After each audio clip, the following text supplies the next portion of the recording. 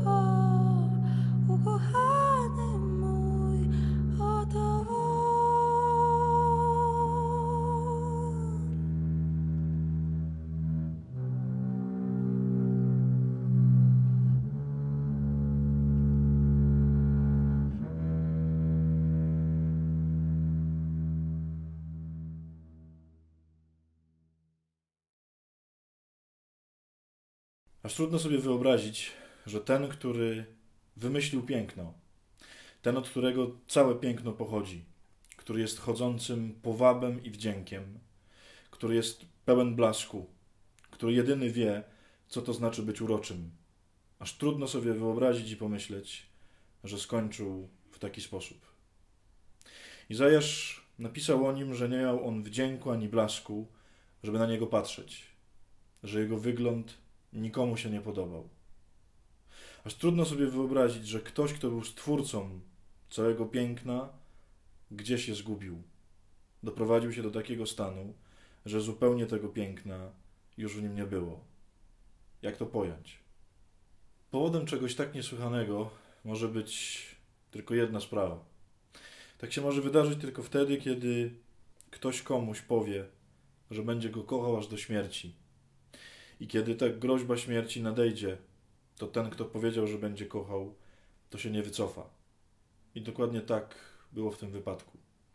Kiedy dwa serca stają naprzeciwko siebie, kiedy dwoje ludzi, albo wtedy, kiedy Bóg względem człowieka staje naprzeciwko i chce powiedzieć kocham, to nauczyliśmy się, że to słowo, które wtedy musi paść, to jest kocham aż do śmierci. I tym, który w całej historii świata potraktował to słowo najbardziej poważnie, jest Bóg. On nas zaprosił do tego samego tylko dlatego, że sam najpierw to zrobił. On kiedyś stanął przed nami, wtedy, kiedy nas wymyślił, wtedy, kiedy nas stworzył, kiedy sprawił, że przyszliśmy na świat. I stanął przed nami i powiedział: Będę z Tobą, będę Ci wierny i będę Cię kochał aż do śmierci. Jeżeli cokolwiek stanie na drodze, pokonam to. Jeżeli cokolwiek będzie mi próbowało przeszkodzić, zrealizować tę obietnicę, pokonam ją.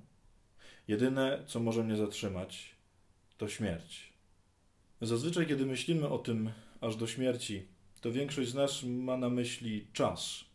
Mówimy, że będziemy ze sobą do tego momentu, aż umrzemy. Ja zrozumiałem to zupełnie inaczej dzięki mojej mamie. Kiedy składałem swoje śluby wieczyste, gdzie wypowiadamy bardzo podobną formułę, gdzie ślubujemy Panu Bogu, że będziemy z Nim aż do śmierci, to po tych ślubach przyszła do mnie moja mama z dosyć dużym przerażeniem y, w oczach i mówi do mnie tak: Synku, czy ja dobrze słyszałam, że Ty powiedziałeś tam, że będziesz w tym zakonie i będziesz z Panem Bogiem, aż to Cię zabije? Ona zrozumiała, że ja nie tyle obiecałem, że będę tam do tego momentu, aż umrę, tylko zrozumiała, że tam może być tak trudno i tak ciężko, i ta miłość może być tak wymagająca, że ona mnie doprowadzi do śmierci. Myślę, że to jest y, niezwykle mądra intuicja. Kochać kogoś to nie tylko obiecać mu, że będzie się z nim zawsze, dopóki będzie się żyło, ale to obiecać mu, że jeżeli coś w tobie będzie powodowało moją śmierć, jeżeli twoje wady, słabości, twoje zło, twoje grzechy będą sprawiały, że będę umierał, to ja się na to zgodzę. To ja zgodzę się na to, żeby dla ciebie umrzeć. To jest dokładny opis tego, co zrobił dla nas Bóg. Nasz sposób bycia z Nim, nasza miłość do Niego, myślę, często go zwyczajnie doprowadza do śmierci.